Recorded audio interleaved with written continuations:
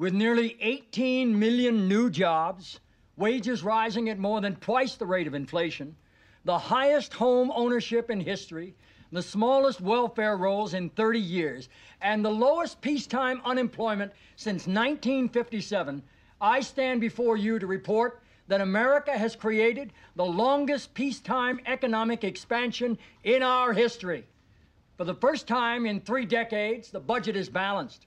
From a deficit of $290 million just 10 years Billion dollars. What? 290 billion. What'd I say? Said million, but let's move on. I said million? Yep. From a deficit of $290 billion, just 10, you know, it says million on the teleprompter, by the way. Sam. Our fault. Let, us take it back. Mr. Speaker, Mr. Vice President, members of the 106th Congress, distinguished guests. Doesn't look so good. Yeah, He's pale and he's sweating. I know. Think he's getting sick? I don't know. Or his glands swollen? These are Damn. What? You know what I forgot to do today? What? I forgot to feel the president's glands. Build in America. Do you think the joke reflex you use as a defense mechanism is why you have so much trouble keeping a man? You know, I'm saying we're 44 hours away from the State of the Union. I mean, it doesn't look so good. And how do we make the American dream of opportunity a reality for all? I came to this hallowed chamber one year ago, and I see we're spelling hallowed with a pound sign in the middle of it. We'll fix that. The pound sign silent. Move on, Mr. President. I came to this hallowed chamber one year ago on a mission to restore the American dream for all our people as we gaze at the vast horizon of possibilities open to us in the 321st century. Wow, that was ambitious of me, wasn't it? Leo, Let's take a break. We meant stronger here, right? what's it say? I'm proud to report our country stranger than it was a year ago. That's a typo. could go either way. Sam. Taking care of it. Mr. President, Yes, sir. how do you feel? Why is everyone asking me that today? Well, you don't look so good. I'm fine. You're pale and you're perspiring. I'm fine. you should be taking something, sir. I am taking many things, CJ. What are you taking? I don't know. My wife hands me pills. I swallow them with water.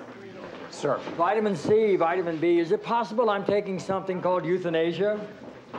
Echinacea? Ah, that sounds more like it. Toby, Yes, sir. Mr. President, I'm taking pills, CJ. are you actually taking them or are you just carrying them around in your pocket? You know, carrying them around in my pocket was a pretty big step for me. You gotta take the pills. Toby, Yeah. how do we make the American dream a reality for all who work for it? Oh, come You gotta on. add who work for it. Sir, That was me. we decided this two months ago. We've seen some pretty compelling polling samples. We need people who work for it. And I'll tell you what else. No. The era of big government is over. Oh, when did this happen? This morning, we had a meeting. We decided to offend poor people? The people we're offending won't be watching the State of the Union. Yeah, I can't imagine why not. It's what they're listening for on welfare reform, so screw it. All right. But when you get visited in the middle of the night by the ghost of Christmas future, don't come running to me. Damn, Toby, because you're exactly who I was going to come running to. You don't look so good. Well, I'm gazing into the 321st century, man. There's a lot on my mind. Let's finish up in here. Mr. President, Oh, dear God. I will take the pills, will you CJ. take them now? Yes, I will go into the Oval Office and pour a glass of water from the Steuben glass pitcher, which was a gift from the Christian Charity Network there, Skippy. Mr. President. I'm just saying, before you start calling me Ebenezer Bartlet, remember, I got a really nice glass pitcher for just, you know, being a good guy. Well, you turned me right around on that one, Mr. President. Sir, I will take the pills.